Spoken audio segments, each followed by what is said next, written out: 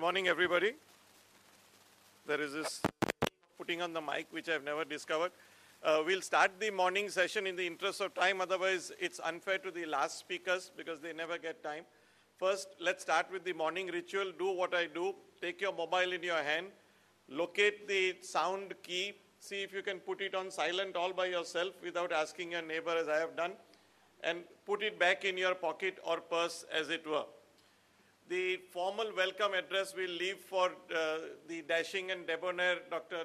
S. Natarajan to do. He's at the moment dashing here. He telephoned me to say he's uh, on his morning dash to reach here on time.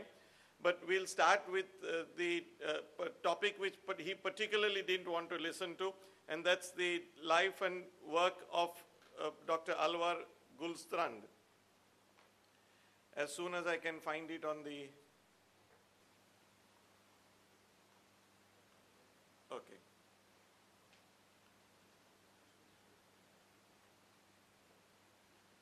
We are basically all here.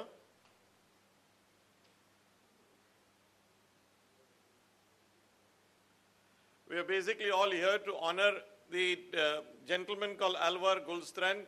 Many of us didn't know he existed. Many of the instruments that we use nowadays are because of his life and work.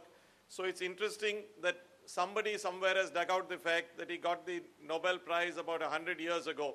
And uh, therefore, it's worth having at least one CME program with two CME credit points in his honor.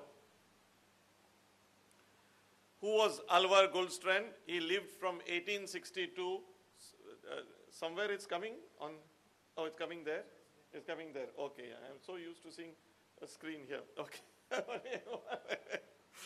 So uh, he was a Swedish ophthalmologist and a uh, professor of ophthalmology who received the Nobel Prize in Physiology and Medicine way back about 100 years ago. He was born on 5th June. Now, many of these names are unpronounceable, so you will forgive me if I pronounce them wrongly. I'm emboldened by the fact that none of you all know the correct pronunciation either. So, in 1862 at Landskrona in Sweden, none of these are questions in the quiz at the AIOS, so you need not make notes. His father was a municipal medical officer, and his wife's name was Sophia. He passed matriculation, means he was a learned man, in 1880 from uh, Landskrona. And post matriculation, he went to the Uppsala University, uh, which is more famous nowadays for uh, the uh, Healon, which came out as a, a, product from there way after Gullstrand passed away that's also credited with that same small town and university. And then he went to Vienna for one year, as most people did in those times, because Vienna was the seat of learning in Sweden. He graduated from there and then uh, also moved on to Stockholm in 1888. He did a wise thing before graduating. He married this lady, Signe Christina Breitholtz, in 1885. Unfortunately, his daughter died at an early age. Uh, perhaps fortunately for medicine, he therefore devoted his life to the study and uh, science of ophthalmology and optics till he finally passed away in 1930. At that time, at a ripe old age of, uh, my math is bad, but about uh, 68 years. He was entirely self-taught because in those days there was not too much uh, original work in the field of optics and geometry and physics. These were his strong points. He obtained a PhD in 1890. His thesis was Contribution to the Theory of Astigmatism, complete proof, and he came out with three volumes of proof on this. First one was the general theory of monochromatic aberrations and their immediate significance for ophthalmology. That was the boom with which it was received. The above work received awards from the Swedish Royal Academy of Sciences and the Swedish Medical Association. The True Optical Image was the second uh, uh, volume that he came out with. And the third one was the optical image in heterogeneous media and the dioptrics of the human crystalline lens in 1908. And this was awarded the centenary gold medal of the Swedish Medical Association. So his work was recognized as pioneering.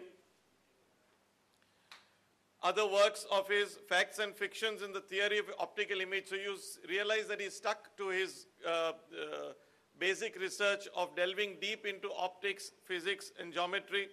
Handbook of Physiological Optics by uh, his teacher, his guru, was von Helmholtz.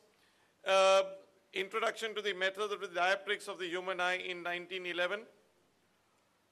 The other works that received awards were the differential diagnosis and photographic illustrations of disabilities of the eye muscles, corneal refraction, pigments of the central macula of the retina. These received awards and the latter received the Yorken Prize of the Uppsala Faculty of Medicine. He devoted himself to studies like this and had several publications to his uh, uh, credit. It almost seems like I'm introducing a vice presidential candidate. but uh, his uh, last summary of his optical instruments was some aspects of optical images, uh, 1926, four years before his, he finally passed away. The slit lamp, the, the uh, lasting legacy from him is the slit lamp and the reflex-free ophthalmoscope. So these were things that, uh, as a direct resu- result of his work, he began research work on astigmatism in way back in 1899. He dealt with chromatic aberrations, optics. He devised the Gullstrand formula for the calculation of the total refracting power of optical systems. His achievements pale in comparison to the one single one that he received the Nobel Prize for Physiology and Medicine in 1911 for his work on the dioptrics of the eye. It did help that he came, that he was in the same country and worked in the same country from where the Nobel Prizes came out. But after that, he was uh, taken up by the uh, Swedish board which decides the Nobel Prizes to be on their board itself. And um, uh, uh, the Nobel Physics Committee uh, took him up. For 10 years, he was its uh, board member and its chairman from 1922 to 29. The Graefe Medal was one more which was awarded to him by the German Ophthalmic Society. Different people have said different things about him, some kind, some not so kind. I've omitted the not so kind ones that I found on the net. Uh, uh, Dr. Thomas Olson says there's no doubt, no doubt a great inspiration for Gullstrand was his guru, von Helmholtz. Thanks to him, it was possible for the first time to look into the eye and see what nature has designed for us. Imagine how challenging this would be to someone with a bright mind and a growing knowledge of optics such as Gullstrand. So his great inspiration, that was his teacher, Hermann Helm, uh, von Helmholtz. Uh, this is my voluntary disclosure. I have no financial interest in any aspect of this speech.